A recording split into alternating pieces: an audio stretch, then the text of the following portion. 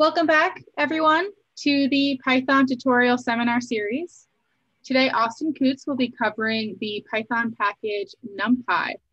And I'll hand it over to him in a second, but before we begin, I need to review our code of conduct. Austin, if you could change the slide. There you go. Uh, by joining this Zoom call and participating in this tutorial series, you've agreed to adopt these values and engage in respectful communication only. So if we see any inappropriate remarks in the chat, you will be removed by, uh, by one of the co-hosts. And without further ado, Austin Kootz. Okay, so today we're going to talk about NumPy and why NumPy. Uh, NumPy is whew, it's, a, it's a fundamental building block of a lot of other Python packages. It is a way to access very fast math routines and to store data in compact ways. Um, you'll find NumPy's um, array storage and NumPy's um, uh, linear algebra routines underlying Xarray, Dask, SciPy, Pandas, things in AstroPy, things in Matplotlib, IronPython. A lot of these tools work with NumPy arrays kind of as a default assumed um, data type. And, and so NumPy is just a really good fundamental tool to have. It is by no means a tool that you should use everywhere. And we'll, we'll address that later. We'll talk about where NumPy shines and where NumPy is not necessarily super optimal.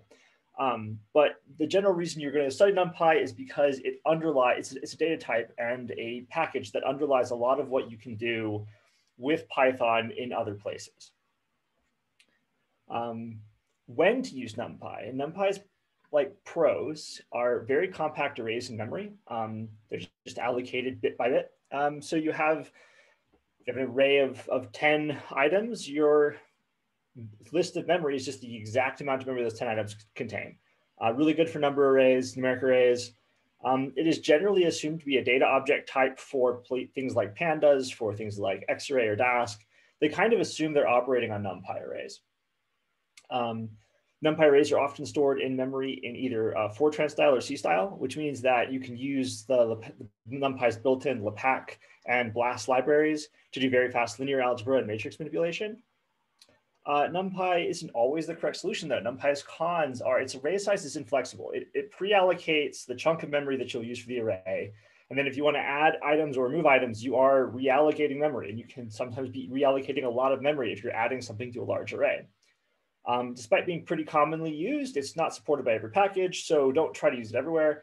And it really doesn't do a whole lot on its own. We will explore its limits uh, in the tutorial today, um, but it does really generally need other packages before it becomes a useful tool. But it is like an important part of those other packages. So having it as a good fundamental basis will enable a lot of things you can do that are pretty cool later on.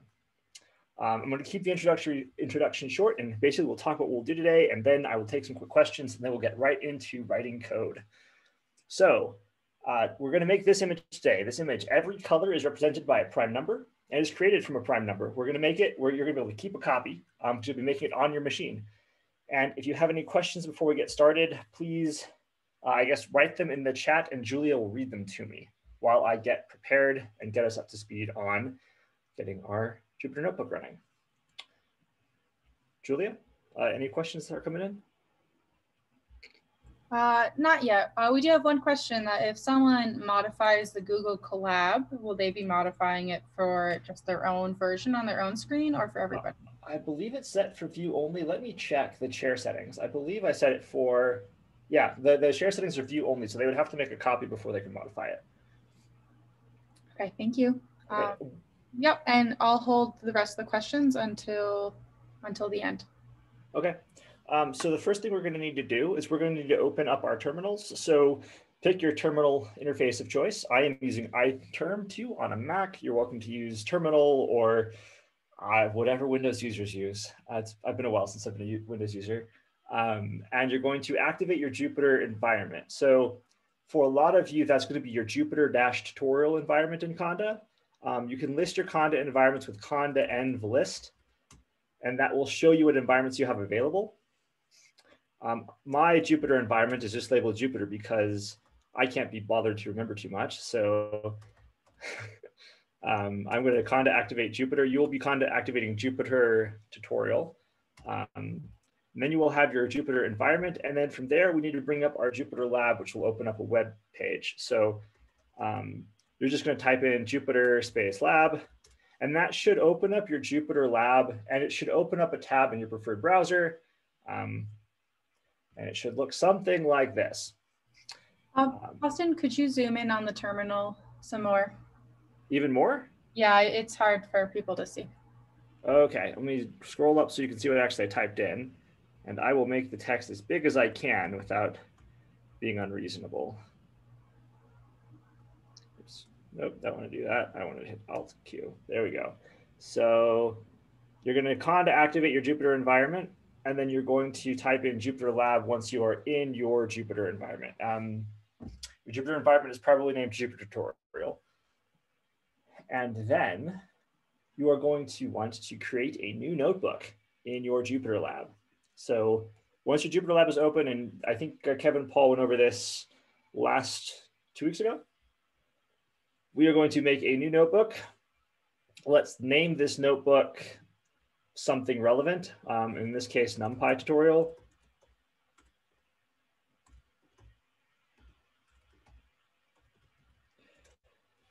So you know what it is. And then I'm going to just copy paste. This part you don't have to copy in. I'm just going to make it so that when people look at my screen, um, oh boy, dun, dun, dun, um, they can see what we're talking about. I think that's most of the 80 characters that were allowed. So there's that. Um, all right, let's start with our imports. So we're just going to get right into it. Julie, if you see any like super relevant questions pop up in the chat, feel free to read them out loud to me because I'm just going to be monologuing. Um, uh, we have a question about how to open the the new notebook. So you just clicked the the. Yes. So when you are in this file browser, your first tab is going to have a lot of options of what you can do. You can also click plus here and that will open your launcher tab and that launcher tab will have this notebook section. Under that notebook section, just click the Python 3 thing and you'll be running your own notebook at that point. Um, it should bring you basically to this page that you see here, um, where you'll have a, a, cell you can type things into. Uh, so the first thing we're gonna do is gonna import math as m. This is Python's built-in math package. Um, if you're following along with the notebook that I posted online, you'll see the comments on it, but I'm gonna be reading those out pretty much verbatim. Uh, this is Python's built-in math package. It is useful for a lot of things like um, Python's square root function, which is faster than doing number star star uh, 0.5, which is Python's exponentiation function. Um, so it, the math package is pretty useful for doing very fast math. We're doing things to a lot of numbers, so we want to have fast math available to us. And then the topic of today's lesson is import numpy as np. This is an invocation that you will see a lot. np is the standard approximation of for numpy. So a lot of the times when you're pulling people's snippets of code off of the internet, um, they will be using np as their abbreviation for their numpy import. It saves you three characters every single time you type it. And trust me, those add up really quickly when you're doing a lot of math. Um, these last few imports are for tautological reasons. Um, but we're going to import matplotlib, um, which is going to allow us to like visualize some data, make sure that we're actually producing what we think we are. Um, it's not plotlib.pyplot as plot. Um, and then we're also going to import time so that we can time our functions. We're not going to use the magic functions for timing. Um, I simply don't have them available on my machine, so that's why. Uh, this is that, and that's also Python's built-in timing package and gives you access to like various system clocks and some other useful features. And this last import um, is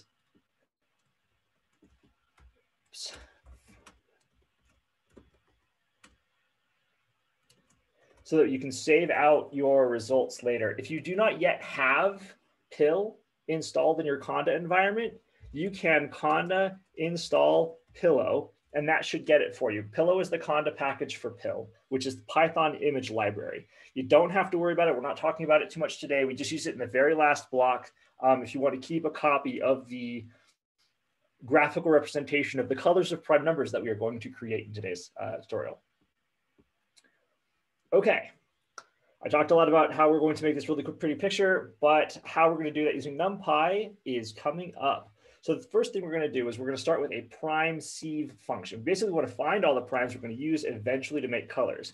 Now, colors are um, represented by 24-bit, uh, 24 bits, right? You have eight bits of red, eight bits of green, eight bits of blue. So we basically need to find a bunch of 24-bit primes um, so that we can turn those into colors. Now to do that, we're going to just be very simple and we're going to use the sieve of some Greek guy's name, Eratosthenes. I can't pronounce Greek. It's my own failing. We're going to use a prime sieve. Um, and we're, so we're going to start with a, a function definition. Um, and we're just going to name it prime sieve. Uh, and then we're going to provide an argument that goes into this function of the maximum number we want to look for primes underneath. So like if we're looking for primes that are 24 bits long, we just need to look for any prime less than 2 to the 24. And boom, we have a list of 24-bit primes. Um, so we are going to do some sort of, we're, well, first we're going to do an offset. So we're going to be starting our list of prime numbers at 2, basically, or at 1. And um, having an offset will allow us to just use this offset later on rather than having to specify um, our array element offset every single time by rote. That means if we need to change our offset or modify the way we're doing things, we can do it easily later.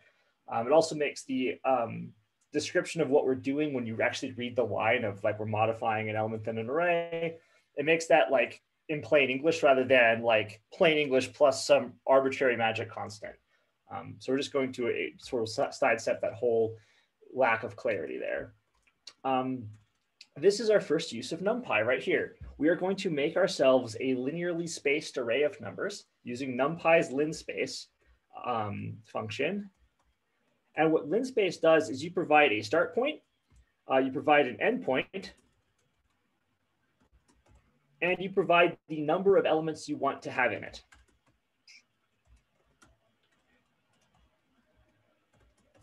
Now, in our case, oh boy, I'm going to need to minimize this left side here. So in our case, um, we have we're starting from one because we're count, we're basically making a list of real numbers up to two to up to max number in length.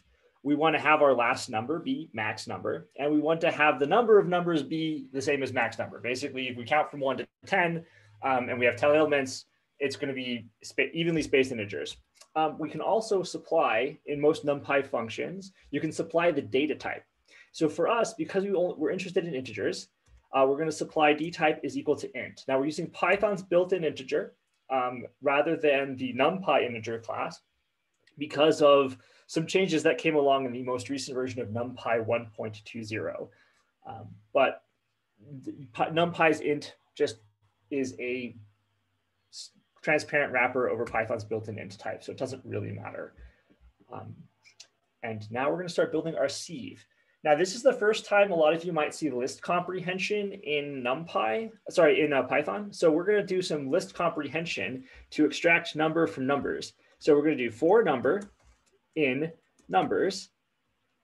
Um, but part of our list comprehension that we're going to do here is we're actually going to slice the uh, array like this. Now this means that we're starting at element one and continuing to the end. So when you see this here, this is element one, and then this basically says, the second one says everything after one where we want.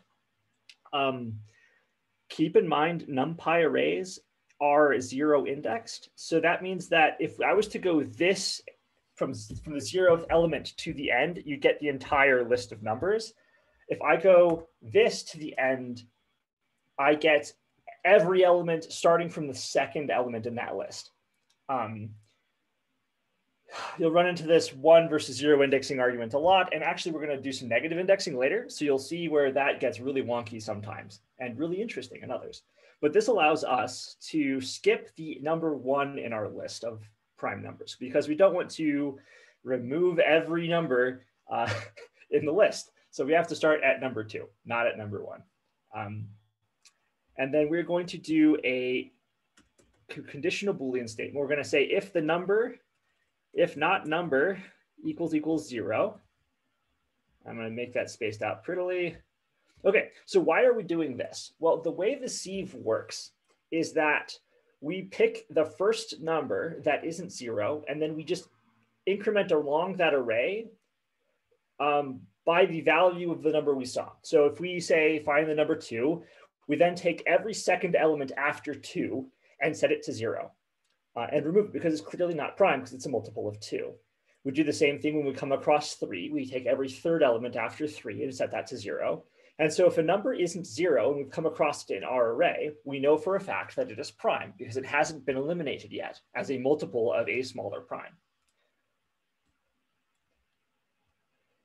Um, we're using if not rather than uh, not equals to for clarity. Um, so we're saying if not numbers equal zero. You could also do like uh, something to the effect of, hang on, why am I not typing? Uh, we could also do something like if, you know, number not, oops, not equal to zero, but like that's not as clear as, you know, if not number equals equals. Um, and it, it's the same under the hood, so it doesn't matter. Um, and then we are going to say for hole in range. So you'll often see range used in um, for loops to the point where some people actually think that it's part of the for loop structure of Python. It's not, but it is so frequently used because it is so useful that range works a lot like linspace. Um, so what we're doing here is we're saying for hold in range, uh, max number. So start start number, you know, end number,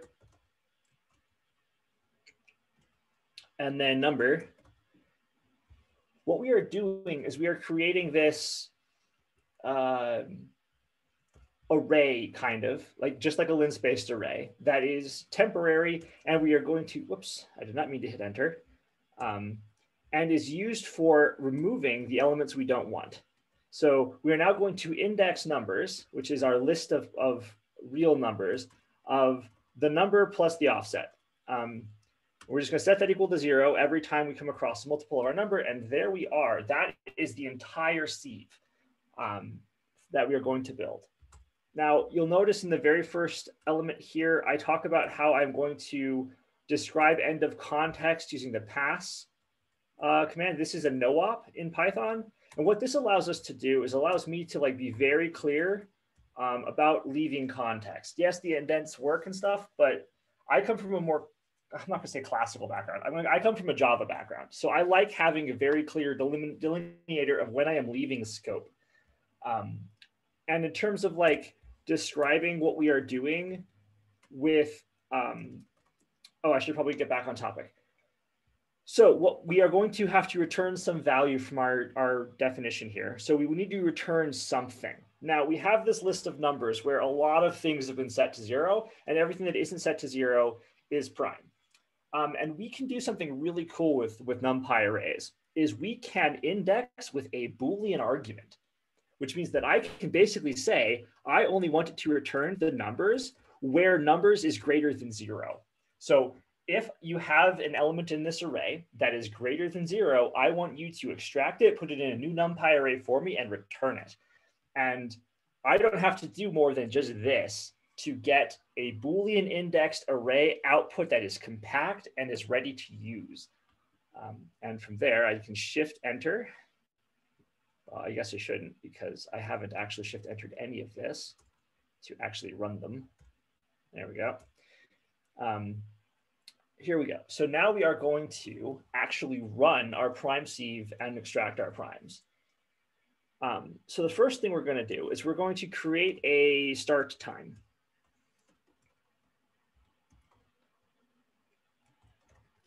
So time.perf counter pulls the uh, floating point seconds from the clock with the highest available resolution on your computer, or at least the highest available resolution that the, your Python system is aware of. Um, and that will give you basically a, a, a comparable time that you can compare your end time against. It will not give you an absolute time. It will just give you a relative time. So you always have to compare end versus start to get your actual elapsed time. Um, and then we're going to make ourselves a primes list by basically calling our primes sieve. and we're going to call it with the max number of 2 to the 24.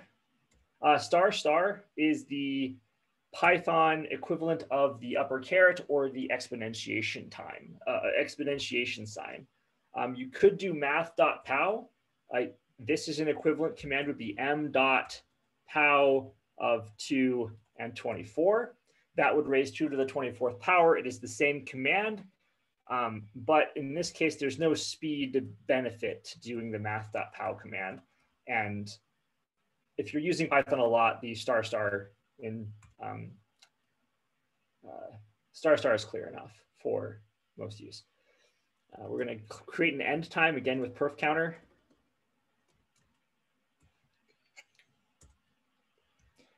Uh, come on. Perf, per. Okay, so I can't type, but that is not your fault. Um, and then actually, before we do anything else, we should probably put in some print statements. So we probably want to print the, the total time it took. Um, but we can just do that, two floating point numbers in a print statement, easy, easy enough to do. And then we should probably make sure that we're actually getting data out of our, um, out of our call. So we're gonna have like a quick visualization of, you know, after it takes however long to run, let's just uh, have it output a little picture showing a list, like showing a graph of our prime numbers. We should expect it to start lower left corner, head up the upper right corner, and give us a list of things. Um, on my machine, this should take about 13 and a half seconds to run. We'll see if that's actually true. And if there's any questions, Julie, we've got half a minute for you to ask them if there's anything relevant right now. And if I'm going too fast, say so in the chat and I can slow down. But I don't want to out type anybody. I want everyone to be able to, you know, keep up.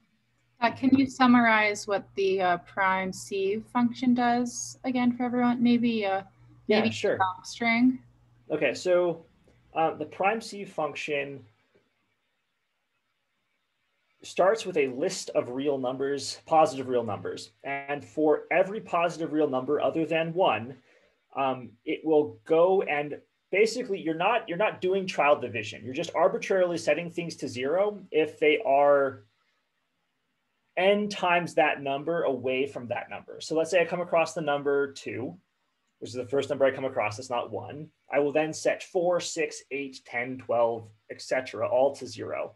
I just remove them by, by replacing 12 with zero. I replace 14 with zero, I replace 16 with zero. I just get rid of them and I zero them all out. Well, then I come across three and I set six, which is already zero to zero. I set nine to zero. I set 15 to zero, all the way down the list um, until you've hit the end of your list. And then you come back and say, okay, the next, well, then four, where four was, is now a zero. And I come across five and then I do every fifth element, get set to zero. And that's very strange and not what I expected. Did I type something in wrong? Linspace, max number.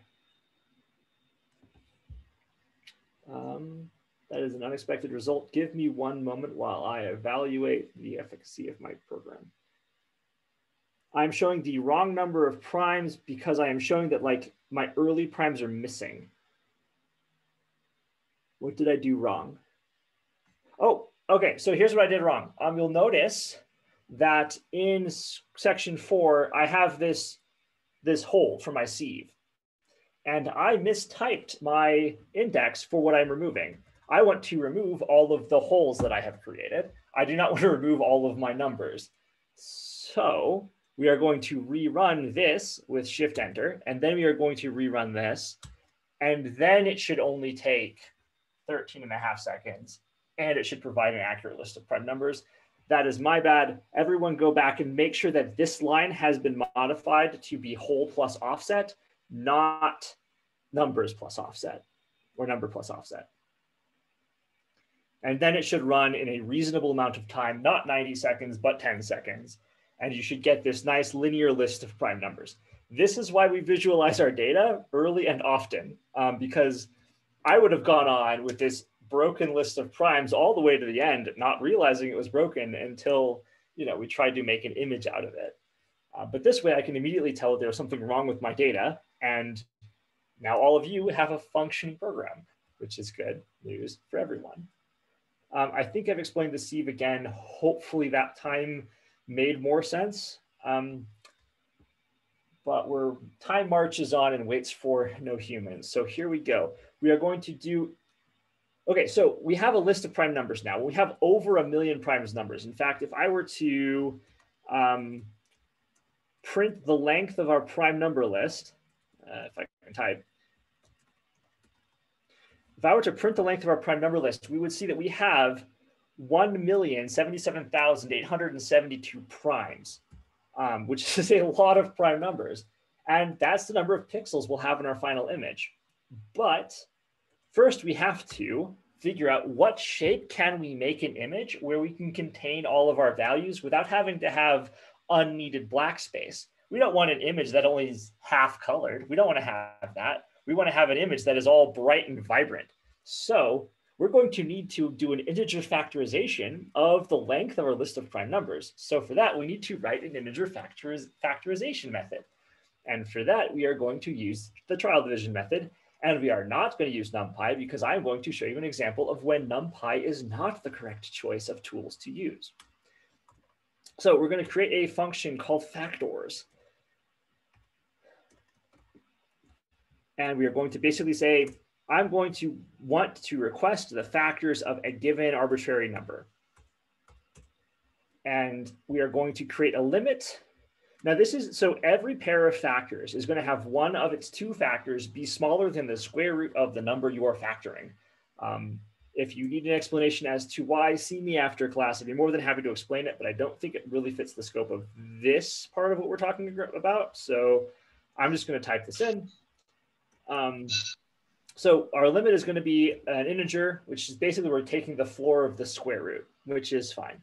Because um, if the square root is not, is a floating point value, then well, we know for a fact that the integer square root of it is still going to be the correct one that we need to worry about. Um, when we're going to create a Python list. Now this is not a NumPy array. This is a uh, factor is a list. It is a Python native list, and it's defined by doing that two square brackets. Um, so you'll see these square brackets a lot. They are very versatile. They are used a lot in Python. They mean different things in different contexts. Do not let that scare you. Um, usually context is extraordinarily clear. Uh, in this case, this factor says these are the ends of our list. Our list is starts and ends and is empty. Um, we are going to do a for loop, and we're basically going to iterate for our smaller of our two factors for F1. We're, we're going to call F1 our small factor and F2 our larger factor. Um, I, I, would normally not teach using non-descriptive uh, variable names, but we're going to type F1 a lot, and I just, I can't be bothered. so this is, again, a, for in range. Again, range is very commonly used. Um, we're starting at the number two, we're going to limits, and we are incrementing by one.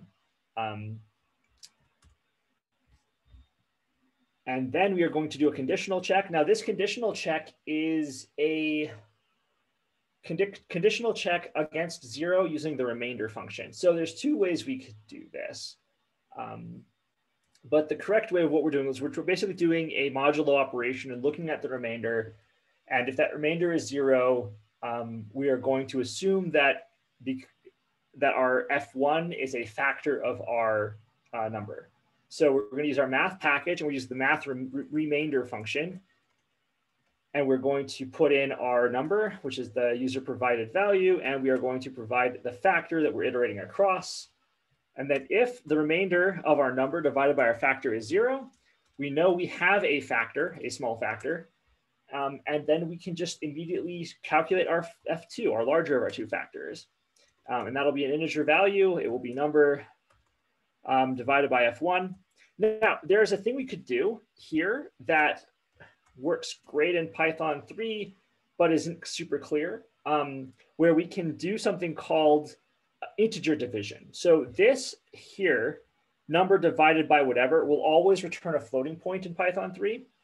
We could do something to the effect of number slash slash 2 and or slash slash f1 and that returns an integer value where there is no floating point after the division. Um, it's going to be useful for us later when we're casting to a color, but it's not the right choice for us right now um, because it's not immediately clear what you're doing. And unless you're doing evil bit hacking, you should try to keep your code self-documenting and calling it saying, I'm taking the integer value of this division is a lot more clear than saying number slash slash F1 um, if anyone's trying to read your code later on. Uh, we're not playing code golf, so we're not worried about the number of keystrokes too much. Um, so one cool thing that Python uh, lists can do is they have a very fast append command where we can just append a list of elements or a list of a list of elements. In this case, this is a nested list that we're creating. So it'll be two dimensions. And we can just add that in because a Python list is pointer based. So it just creates a, adds a pointer to this original list, pointing to this uh, data structure, which itself is a list pointing with a pointer to here and a pointer to here a pointer to F1 and a pointer to F2, and you don't really have to worry too much about everything else. Um, and then we're gonna we're start leaving these scopes because that is our entire factorization uh, algorithm. Now here, we are going to return our factors. So this is where we can go, let's say um, we want to return a NumPy array and we want to return the list of factors. So we do that, and that will, this NumPy array function creates a NumPy array object, populates it with the um, items and dimensions of factor lists, assuming factor list is capable of being cast into a NumPy array. Um, in our case, it will be. And so we don't really have to worry about the rest. And then we're going to pass to exit the function scope. And then our function is defined, hit shift enter to load that into memory. And we will go ahead and call it. Now this function runs fast enough that we're not going to time it. Um, we are going to make uh, factor result is equal to uh, factors of the length of our primes. So what len primes does here, this len primes returns the length of the primes um, array that we have created. This factors is the def of the function we've just defined, and that will return um, a NumPy array containing our factor results. Um, now we've got some print statements to like explain some things. So we're just gonna start writing these in. Uh, Kevin, I believe, or you have learned F strings in the past, so I'm just going to use those right away. Um,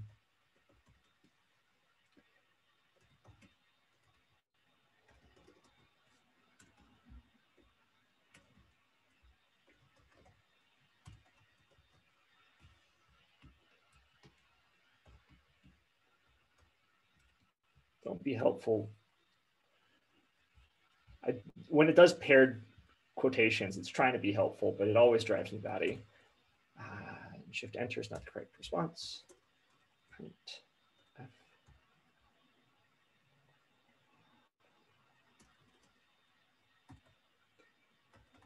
Uh, the rest of you can just feel free to like copy paste um, from the notebook that's published online into your thing. You don't need to actually write all this out.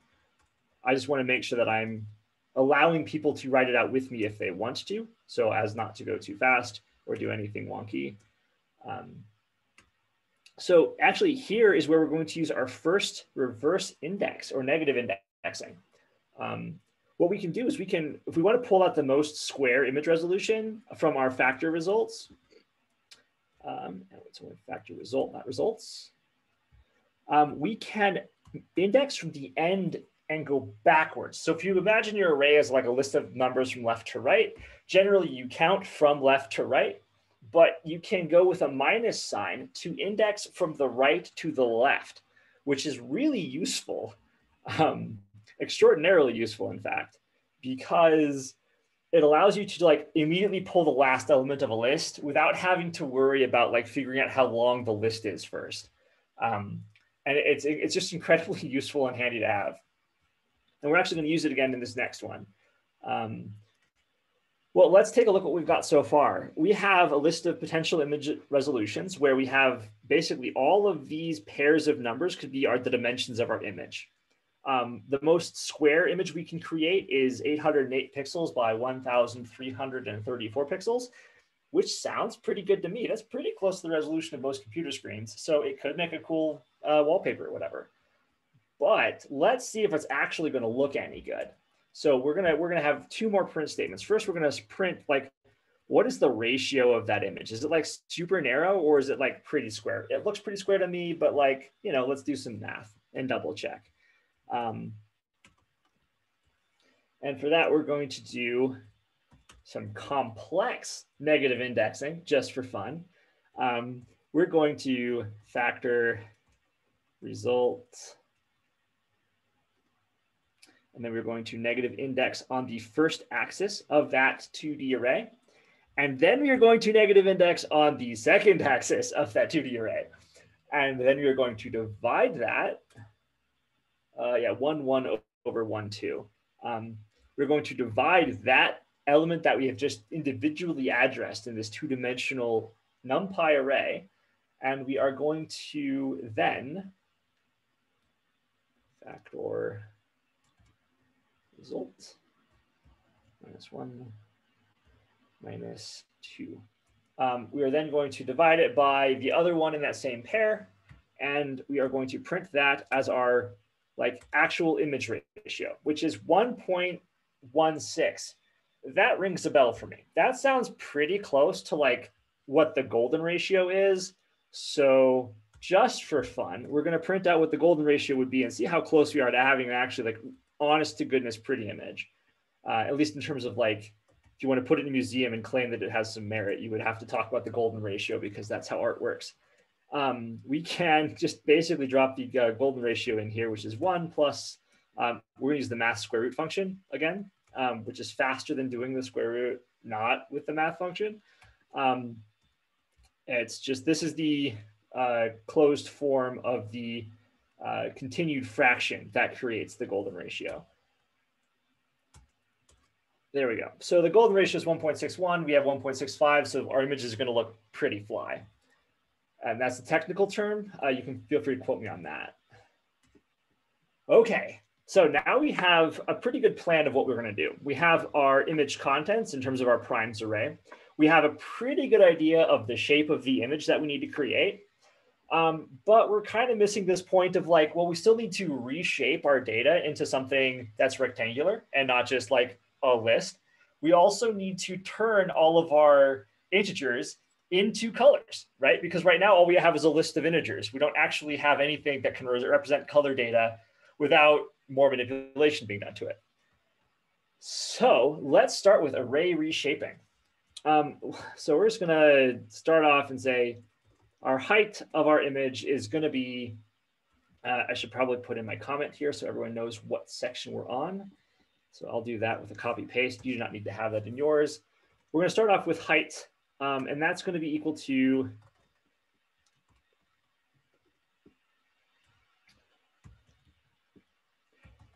And now here, here I am breaking some rules. I am negative indexing and I am positive indexing at the same time.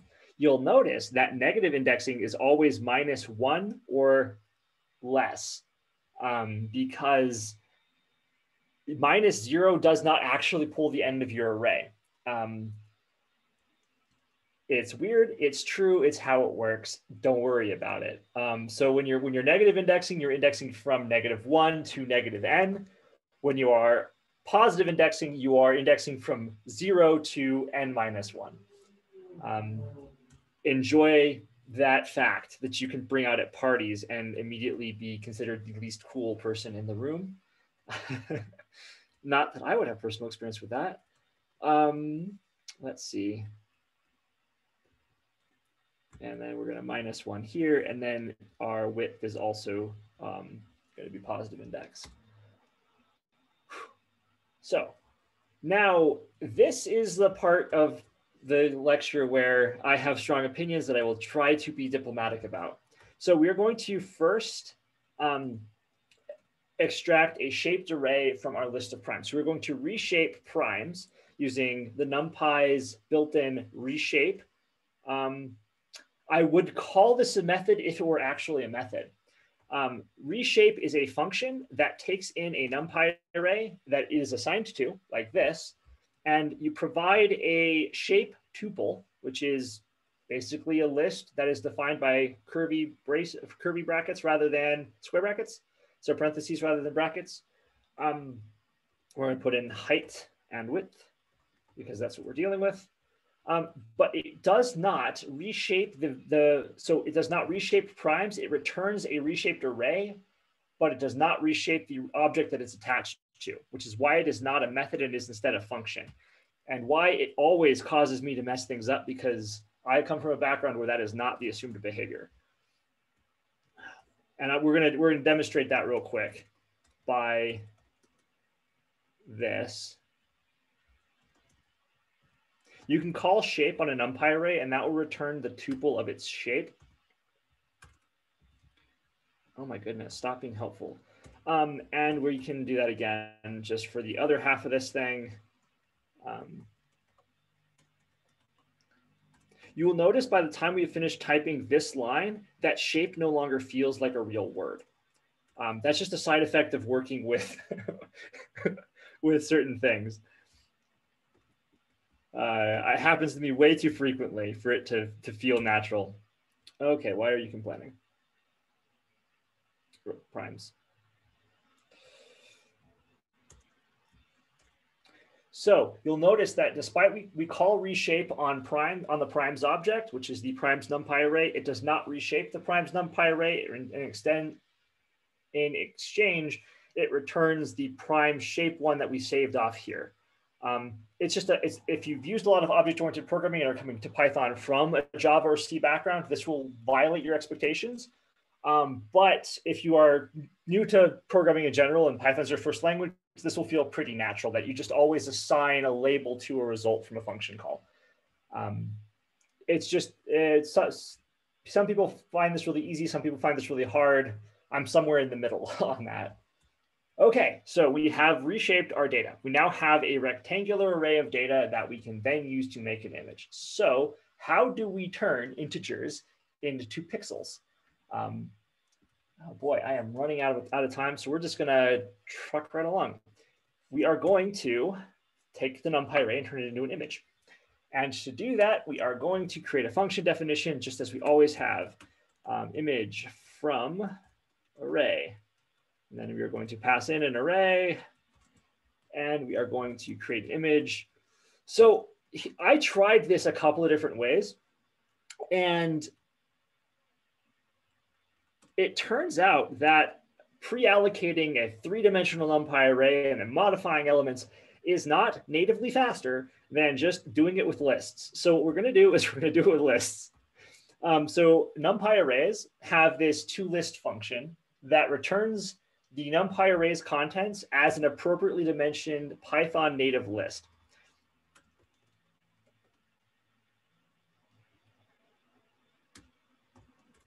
We've already defined height earlier on here under the array reshaping, so we can just use that in our inside of our function. Um, not super object oriented, but like totally fine for what we're doing today. Um, in range, H-E-I-G-H-T. Um, so you do not actually have to supply a start, end, and incrementer for the range function. Um, it, you only have to do that if you're not starting at zero and if you're not ending at um, the value uh, the value minus one. But in our case, we are doing this the most Pythonic way possible. So we can just basically be lazy, which is kind of nice for you know my, my poor fingertips. Um, there we go. And then we are going to extract our values. So ARGB. So we know um, the actual integer is 32 bits long, generally represented as the alpha channel, the red channel, green channel, blue channel. Alpha channel is transparency. Um, and the red, green, and blue are self-explanatory. Um, here we are going to do some pixel bashing or some bit bashing. Um, we're going to take our ARGB value, we are going to, we talked about this just a few minutes ago. Um, we are going to do a integer division because I don't want to have to do like math.floor of this value. Um, so we're basically just doing some funky math to extract um, our values without having to do like a bit mask or something that's even harder to understand. Um, not that this is also particularly clear. Uh, I'll have to just ask you to trust me on this one. Um, you'll kind of see what we're doing. Uh, I'm, I'm actually going to drop this comment here from my notes straight in here and save myself some typing, but you can read it along with my screen. We're doing floor division here, multiplication. Oops, we're doing multiplication here. We are doing a remainder function here. And then we are doing normal floating point division. So we're doing both types of division and a multiplication and a um, built-in remainder function, all kind of with these single arguments. Now, it's not very readable, which is why earlier on I used math.remainder, but this is a legit way to do the math um, for what we are trying to accomplish.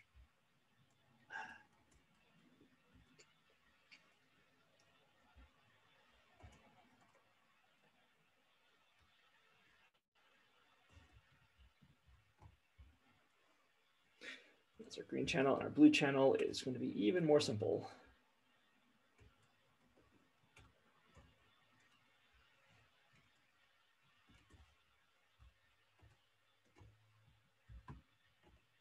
There we go.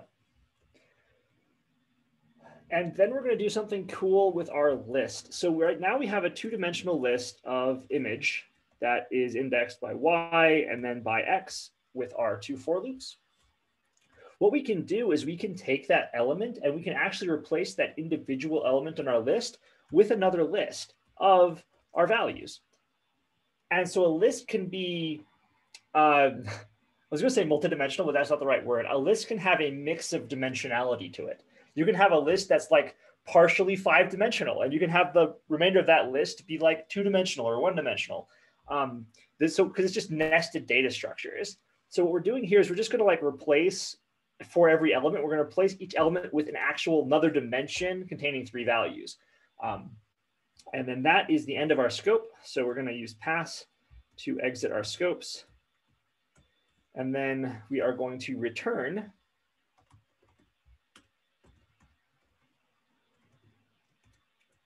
this as a NumPy array, and then end the scope of our definition and store that into memory. And now we are going to see how long it takes to run. So we're gonna, again, use uh, a start value from our time, our Python time perf counter.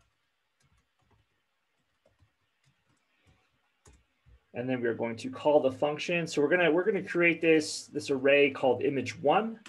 So we are going to do other things to it, but for now we're gonna call it image one. We are going to call the function that we defined as image from array. And we are going to pass in our primes shape array, our, our reshaped primes array. Um, and then we will create an end time from our time performance counter.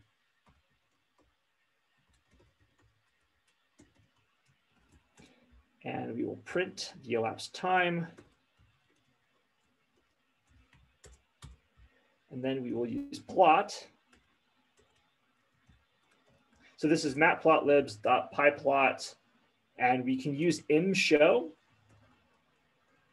to get a not pixel perfect, but like a basic you know, did we actually get anything usable? Again, this is like the let's just do this real quick and see what happens kind of thing.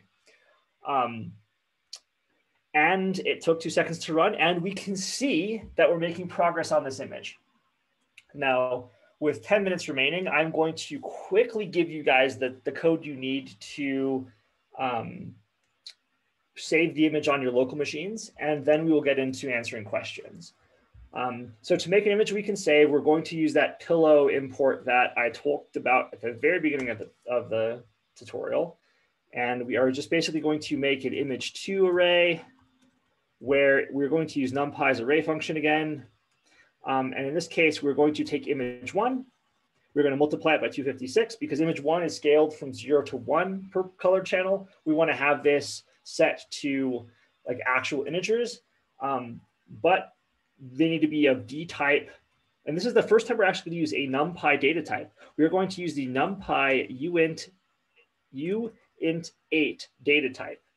Um, which is what the Pillow or the Python image library expects to have um, from uh, to, to make an image with.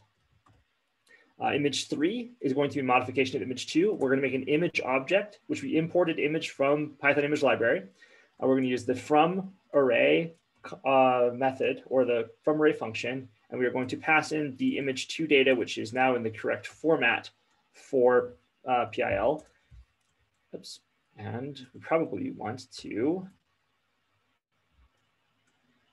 oh, why did my email pop up? I'm sorry, everyone. Now you're seeing potentially sensitive information. Um, let's hope that that didn't get looked at by hundreds of people on a live broadcast. We're gonna show that image. And here we are. So this is the image we can create. Now, if we wanted to save that image um, out, we would then do image three dot save.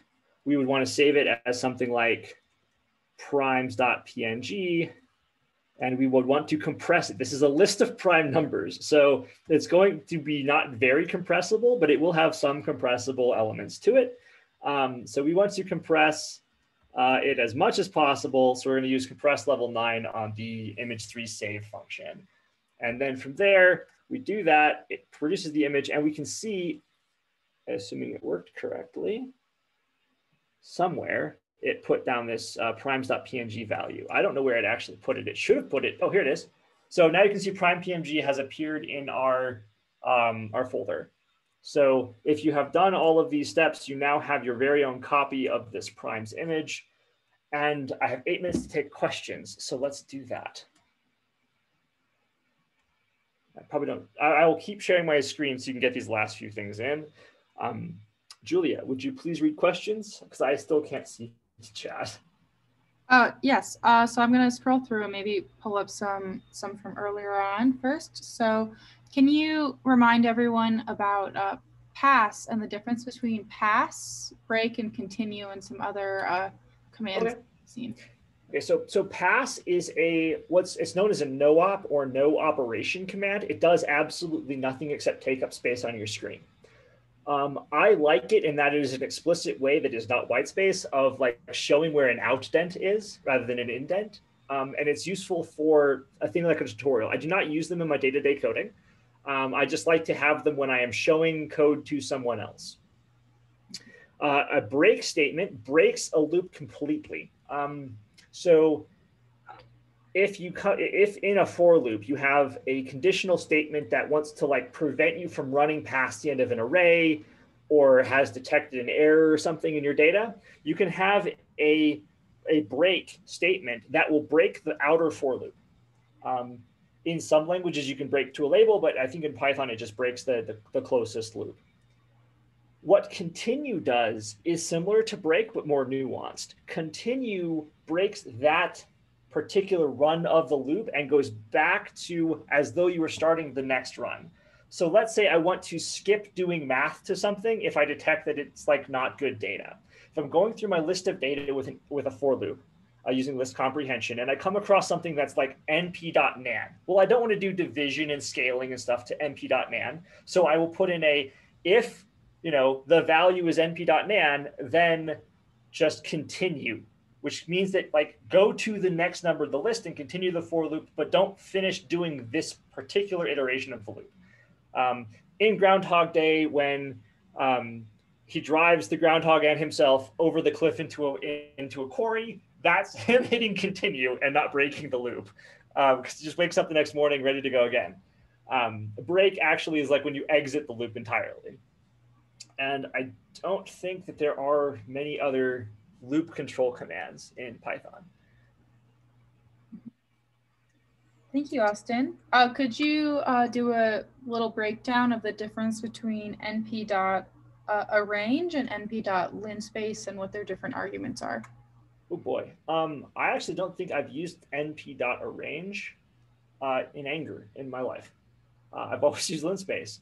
Uh, let me Google it real quick, and I can have an answer. But I'll I'll come I'll circle back to this. Oh, ask me another questions. I, I can maybe uh, answer that then. Okay. So um, np.arange is great when you have a set step size you would like to use. So the arguments are start, stop, and step, where np.linspace is better when you have a set number of, of um, elements you would like to have. So it creates a, it subdivides the difference between your start and stop by the number of steps instead of defining it by step size. Okay, so numpy dot arange is very similar to the the Python built-in range function in that you're defining start, stop, and step size.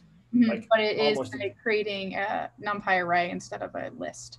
Awesome. Cool. Which um, also, could you kind of summarize the difference between a list and a numpy array? Okay, so a list is a pointer-based data structure that is very easily to, easy to modify and takes up and is not continuous in memory. Um, a NumPy array is harder to modify and takes up continuous memory. A NumPy array is very fast to index. A, num, a Python list is slower to index. Um, they are different in that if you had a deck of cards um, and you had basically cards stored all over the house, and then you had like a little ledger that told you where all the cards were, that would be a Python list. Um, you could add elements to that ledger pretty easily. You could rearrange it pretty easily because it's just a little piece of paper. A NumPy array is a deck of is the deck of cards in your hand. It's way more compact, um, but like adding in a card you have to like replace the deck. Um, they are very different. That it's easier to talk about the differences than their similarities. To be honest, there, there's more things different about them than there is similar to them. They are both useful for what they are useful for, which Barnum statement, but sure. Next question. Okay, so we had some questions about uh, list indexing with the nested lists or nested arrays rather, mm -hmm. and um, a refresher of like the the boolean. So what does double equals mean versus the regular equal sign? Okay, so let's start with the boolean talk because that's actually pretty fundamental. So a, a, straight equals that you see here, which is one equal sign, that is an assignment operator. That says, I want you to take whatever is to the right of that equal sign, and I want you to put a little sticky note on it with the name that's on the left of the equal sign so that we know what it is and we keep it around and we won't garbage collect it or get rid of it. Um, what double equals does is that says, I am showing you two objects. Please tell me if they are the same. Now, in Python, because it's a pretty high level language, double equals works differently on different types of objects, but in general, you can assume that it will say, you know, is the underlying value of these two integer objects the same? Is the contents of these two string objects the same? It's a comparator and it tells you true or false, are they the same? Um, not to be confused with are they identical because we're not going to get into like object identification, but like it will tell you if they're the same or equivalent.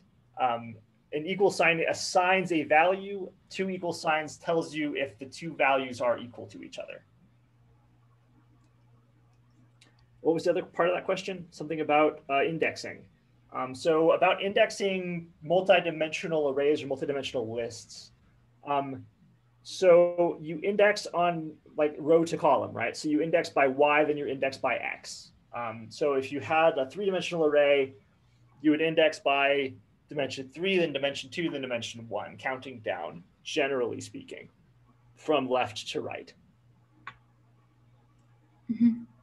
uh, what data types can a NumPy array hold? A, a NumPy array can hold any data type of equivalent size. So a NumPy array, to my knowledge, cannot hold um, varying length strings, but if you have a bunch of strings that are all the same length, you're good. Um, NumPy arrays can hold any NumPy native data types like uints, floats, doubles, longs, quads, anything that you can find in the NumPy dot whatever uh, data types list. Um, I can give you an outside reference for all of the lists of available data types. There's quite a few of them. Um, can be held in a NumPy array. Basically, a NumPy array says, you know, there's 100 elements in my array. Each element of my array takes n number of bits. So my array volume is n times number of elements of bits long in memory. Um, yeah. Okay, I think that's uh, all the questions. If anyone has any other questions or I missed one, please uh, put it in the chat now. And um, also please share your uh, virtual applause for Austin for his coverage of NumPy. Uh, we have a question, how do we interpret the image? So looking at this cool wood grain uh, that we've produced, uh, what do we kind of get out of looking at that? Okay, so um, you'll notice kind of three different aspects of this image. If you zoom all the way in, you'll see these like kind of clownfish wiggly blue lines that look like the stripes of a clownfish that go left to right. Um, those are your blue channel rolling over because your blue channel is your trailing bits, the ones that, that, that will roll over the fastest in a modulo kind of way. So you get these kinds of like left to right blue waves. And then the wood grain that you're seeing, that is the green channel rolling over. So that it'll ramp up to a bright green and then it'll drop to no green. And then it'll ramp up to a bright green and drop to no green. That gives you that sharp kind of wood grain edge. And then from the very top of the image all the way down to the bottom, you're gradually increasing your red channel, which does not roll over. Your red channel just goes from no red at the very top of the image to all of the red at the bottom of the image.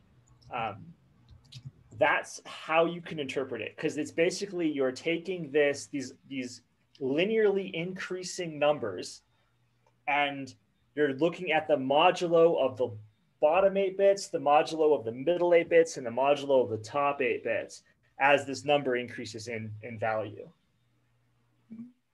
uh, so austin uh, before we leave could you give mm-hmm. a summary of the concepts that were the learning objectives from this tutorial. So maybe list the key functions that we looked okay. at and and data types. The important fun the, the, the key concepts would be how do you make a NumPy array? Like when you want to generate a new NumPy array, you would use um, arange or linspace or zeros or ones to create your your data. Um, you can use numpy.array to import existing data. You can use asarray to import a different numpy array into your array. Um, so one of the key features is like learning how to get your data into the numpy array format. And then from there, I would say array manipulation, reshaping things, rotating your arrays, those are key features of NumPy. Modifying your data set without like not changing your data itself, but like modifying the presentation of your data set, taking that long list of primes and turning it into a rectangle of primes that can be turned into an image. That kind of array manipulation is an important part of what NumPy can do and do well and do quickly. And then the last thing would be getting that data back out of NumPy. Um, we do that with when we're trying to make the image into a we'll take those numbers and turn them into uh, pixel values. We are actually using the NumPy's tolist function to turn that NumPy array back into a Python native data structure. Um, because I said there are packages that do math and science that might not use NumPy for everything. And so getting the data back out of NumPy is an important thing to know. Um, we did not touch on doing linear algebra or um, too much like really matrixy things like changing things into like upper triangular or whatever um, simply because I didn't want to make this about linear algebra. I wanted to make it something like you would use NumPy to do interesting, cool things, and we get exposed to it in a way that's like shows you what it can do without being like dry, boring, and scary. Um, so hopefully that came across, and I didn't monologue too brutally. Uh, you can use NumPy for linear algebra. Linear algebra, sorry, uh, linear algebra is built into NumPy. Um, you can look at numpy.linalg. If you just want to Google search numpy.linalg, you'll find the linear algebra library uh, that NumPy uses. Uh, NumPy uses uh, LAPACK and BLAS, which are Fortran packages on the back end. They import those Fortran packages um, through NumPy's built-in F2Py compiler package, which is something I can go on for hours about. um, but yeah, NumPy does have a lot of built-in linear algebra things. If there's something that's not built into NumPy that you want to use for linear algebra, I bet you someone's already written it. You can look around on Conda or search Stack Overflow for that. Now, yeah, SciPy is also really good. SciPy's got some great like like minimize functions. Like if you actually want to optimize something, SciPy minimize, it's right there. It's it's great. It's fantastic.